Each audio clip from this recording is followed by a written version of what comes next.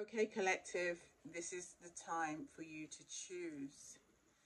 Where is your life going next? I've already shuffled the cards we're working with today, which is my own kind of invention, if you will, of the Disney cards. And uh, that includes the Marvel archetypes, the Star Wars archetypes, the Disney princesses and princes, etc. You'll get the vibe in a minute.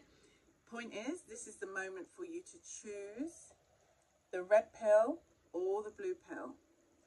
Thought we'd have a bit of fun given that it's Halloween coming up very soon. I've got a lot of candy in the house for the trick-or-treaters. and um, I thought this would be a bit of a giggle, okay? So play along with me. Go ahead and make your selection. Is it going to be the blue pill or the red pill? Right? And let's go. Enjoy your reading. Okay, dear ones, you picked the red pill. This is your reading. Remember, all readings, tarot and every kind of reading that any human being can do are really have to always be taken with a pinch of salt because God has the final say, right? Take what resonates, leave the rest. These are the cards, three cards that came through for you, okay? Now, these characters, these archetypes will be well known to you, no doubt.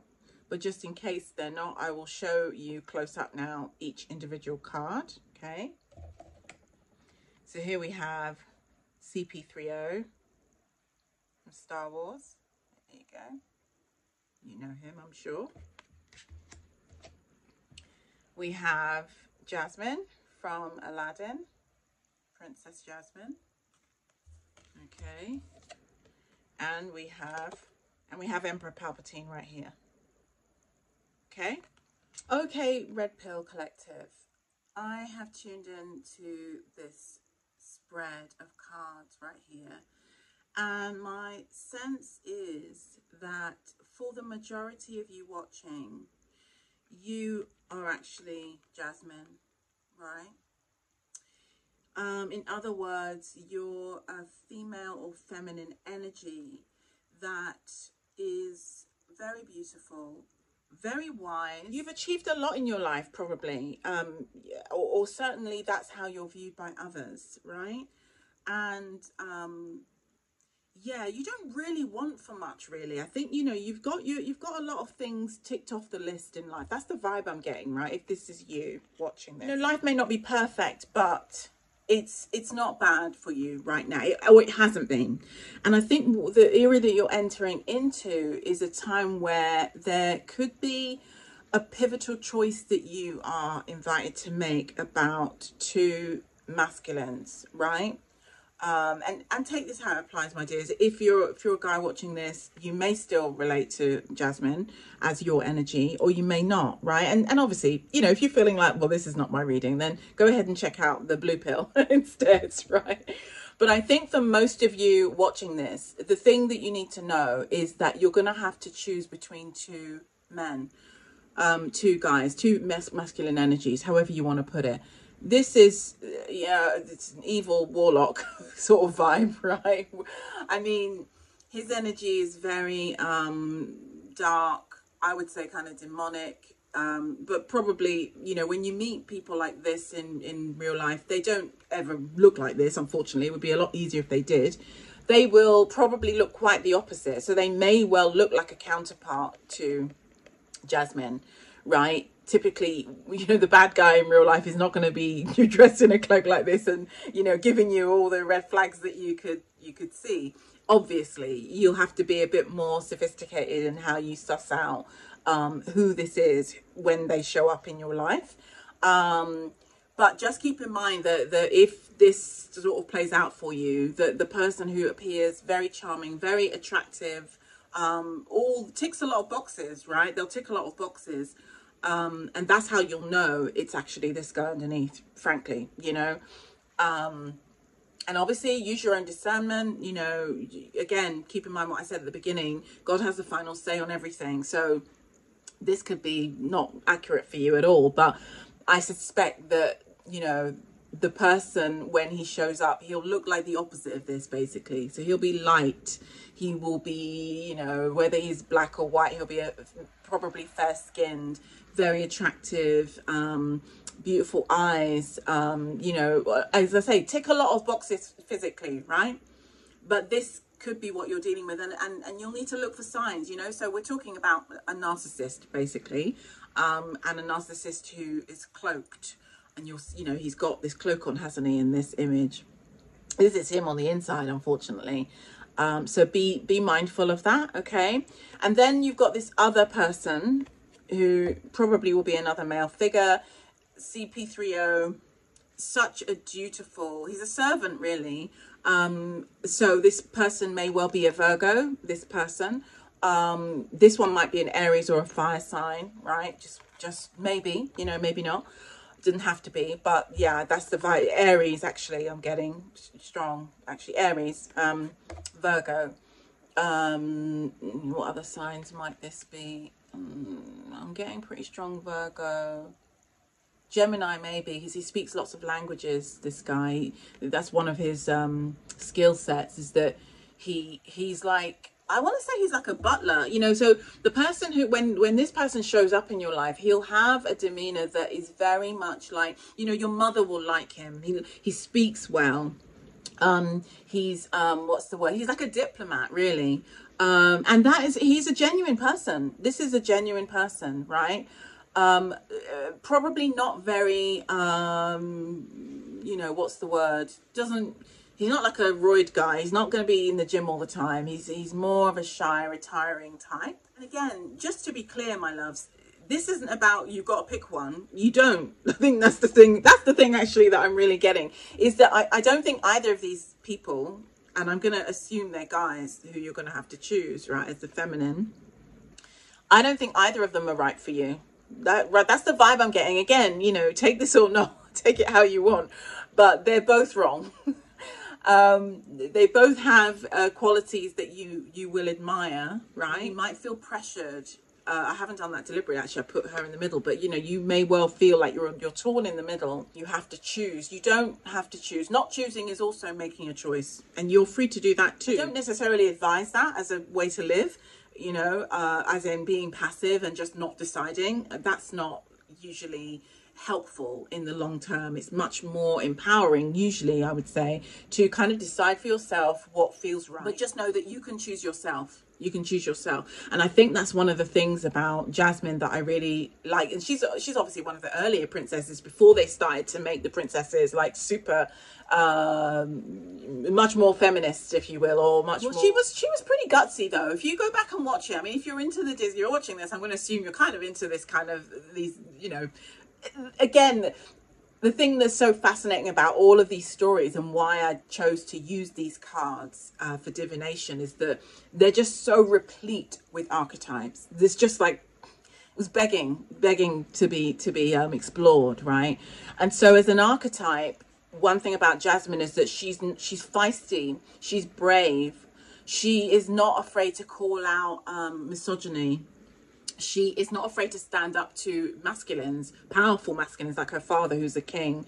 And um, you know, initially she's not allowed to. Uh, I believe I might be I might be making this up. I might have mis- misremembered, but I believe she has to challenge her father in terms of really um, being next to. She's she's obviously heir to the to royalty, but she wasn't going to be able to take up the throne because in her kingdom, to my recollection, which is an Arabian kingdom, I believe uh, that was not allowed because she's a female, right? But she challenged that, and I believe that ultimately, you know, that was her path. And I know there's a second one, isn't there? I think they always make sequels, don't they? But the, but you get my point here. You know, if you if you resonate with this reading, definitely go look her up. If you feel that yes, you are the main character here, definitely go and look up, you know, the storyline and you will find some of these things that I'm touching on really, really interesting, especially for such an early, early-ish, if you know what I mean, Disney princess. So, so yeah, that's what's coming up for you, uh, Red Pill Collective, that you are likely going to have to make a choice, probably between two masculines, could be two jobs though, it could be, you know, it could be something else. Maybe you're a female in a male-dominated industry and you're selecting between two jobs. It could be that. Um, but either way, you're going to have to make a choice. And um, just remember the main takeaway from this reading that I want you to always keep in mind is that you can choose yourself. Okay. So, my loves, thank you for watching. I hope that was useful and I will see you in the next one. I just found this feather, which is beautiful. So the angels are really with us right here. I don't know where that's come from because, yeah, that's really sweet. I'm going to put it here. Welcome, Blue Pill Collective. Let's see what the uh, angels have to say to you. What's coming up in your life next? And we've already shuffled these cards, but I do like to be thorough. Okay, Collective, you've actually got four cards. I'm going to allow it. I was going to put one of them back, but actually straight away I got a message that, that these two go together. Let me show you what we have here. Okay, so we have Mufasa, no Mufasa, yeah, Mufasa, that's right, I'm right. Mufasa, Captain America, Cruz Ramirez from the Cars genre of films, I think. It's Cars, isn't it? And then Jabba. Whoa. It's lots of masculine energy, quite kind of the opposite of uh, Red Pill Collective. But not really, maybe not really, but yeah, different. Different energy altogether. Whoa, okay. okay, Blue Pill Collective. This was a lot of energy. I really had to kind of meditate um, to get the story and the message that I feel is relevant for you. And it's possible that there's a couple, so bear with me, okay? What I'm getting is that um, for some of you, you are going to have the opportunity to fulfill something that you've wanted to do for a long time okay something that you've only dreamed of doing for a long time and so in this instance you know if you're already starting to think wow okay if that's me that's cool and you're resonating with this just want to say off the off the bat i think this is you. Your main character vibe is is this one. It's Cruz Ramirez, and I'll I'll go into a little bit more about who she is in just a second. But I just want to lay out the initial um, narrative for you, okay?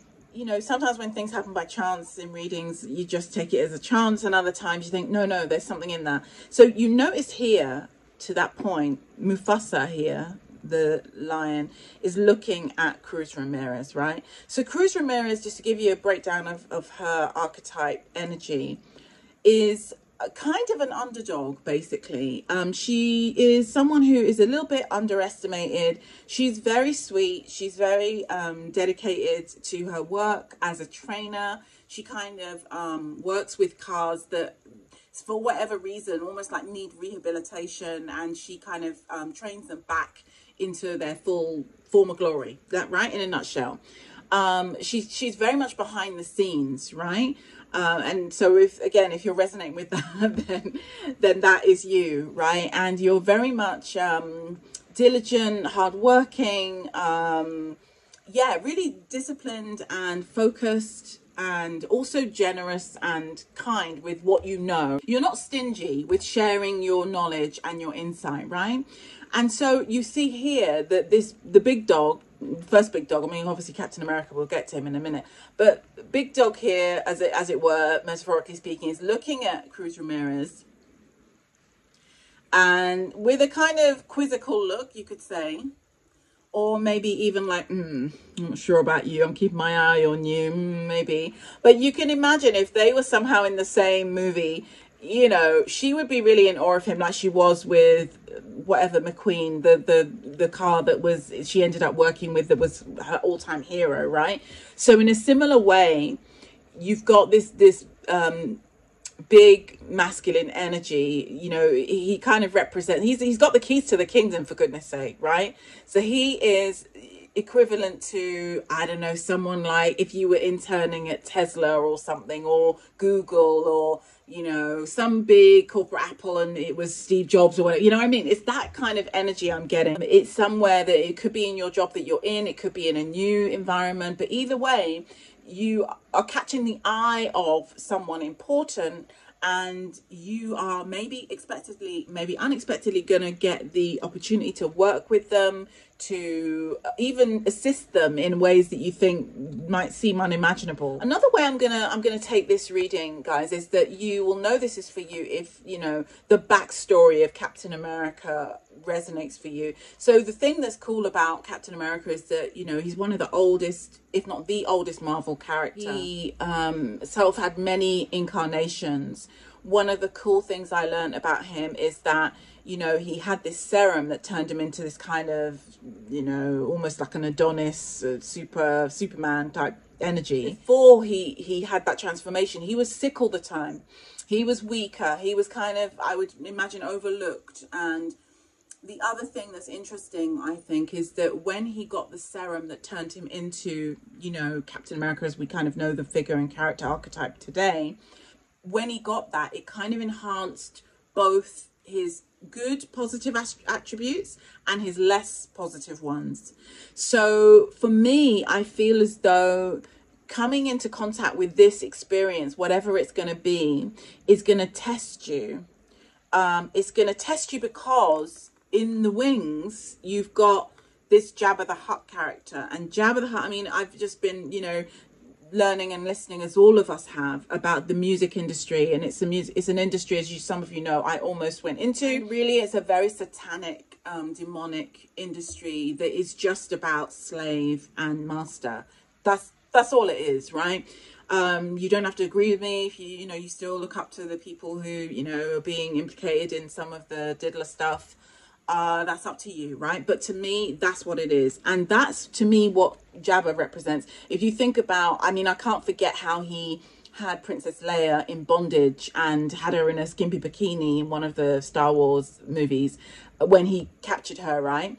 And it was so unnecessary right? But that's what that's what that energy does. You know it's literally just today i feel so uncanny the synchronicity. I was listening to it was a reaction video actually and it was i don't even know who this young woman was but she was talking about how she worked for six years for this organization this people these people in entertainment um, it was one of those like you got talent type things. It wasn't you got talent, but it was something like that where it's like, oh, we're going to give you your big break and just do this, do that. And then eventually, you know, you will be paid loads of money and you'll be famous and you'll work with this person and that person.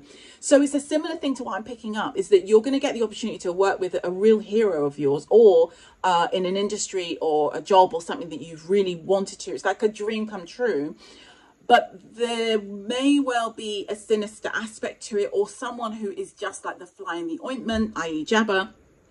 There may well be, obviously, if it is the entertainment industry, please have your lawyers look at everything and please be really careful because, you know, some of you maybe are in that world. Um, but the point is, even if it's less dramatic than all the diddler stuff, there's an energy that um, wants to, i.e., Jabba vibes, Jabba archetype, wants to kind of keep you stuck in something. It could be that the contract that you sign isn't all that, and you might think in your excitement that it's great and you sign it. Or it could even be something not in, not an opportunity, but more like a property or a business deal or um, some opportunity that feels like a dream come true that actually comes with some caveats that you need to be wary of. And that's the Jabba vibe, okay? That will bind you in something that is um, un, unwanted and unwelcome and unnecessary. So the thing is, you know, you do have the strength to um, work this out. You have the superpowers. You know, he is a skilled Captain America. That is, he's skilled in martial arts and you know i would take that as you know more metaphorically. It's not just literally hand-to-hand combat that is his skill and being you can run a mile in a minute and all of that stuff. You may well have built yourself up from being really poorly in the past being really unwell in the past right? But even if again your transformation wasn't that dramatic and you you can't run a mile you can't run at all you know don't don't let that trip you up here. The point is that you have hidden abilities you have the gifts and talents the know how to cut through this mess to really still benefit from whatever this opportunity is. But you need to go in with your eyes wide open is the message i'm getting really. Yeah it's kind of exciting but you just need to have your eyes open really. You have to look out for this Jabba person or you know a bit of a pitfall there okay all right my loves well that was your reading i hope you found that kind of fun interesting And don't forget to like and subscribe if you enjoyed that. Remember what I said in the beginning God always has the final say. Thank you for being with me, and I will see you in the next one.